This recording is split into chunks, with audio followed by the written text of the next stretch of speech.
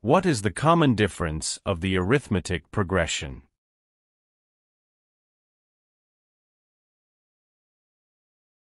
Given the sum of arithmetic progression Sn equals the product of n and the sum of 3 times n and 2 which is equals to the sum of 3 times the square of n and 2 times n. Step 1 is to find the nth term of the arithmetic progression. That is, Tn equals the sum of n minus the sum of n minus 1. This implies that the sum of n minus 1 equals 3 times the square of n minus 4 times n plus 1 after simplification.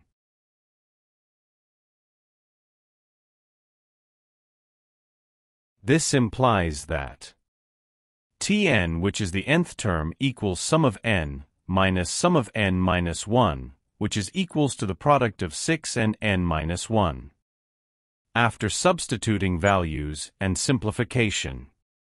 Thus, the nth term which is Tn equals 6 times n minus 1.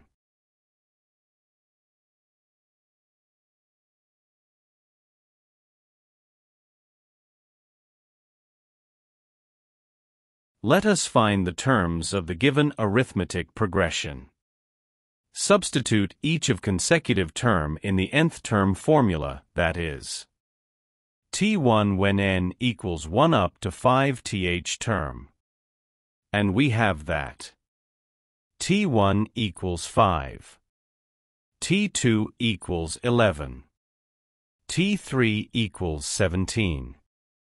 T4 equals 23. And finally, T5 equals 29.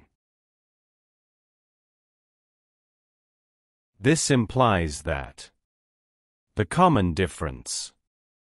D equals second term minus first term. Or T3 minus T2 is the positive difference between consecutive terms of the arithmetic progression, which is equals to 6 as shown on the screen. Thus, the required common difference of the given arithmetic progression D equals to 6. Therefore, the correct option is B.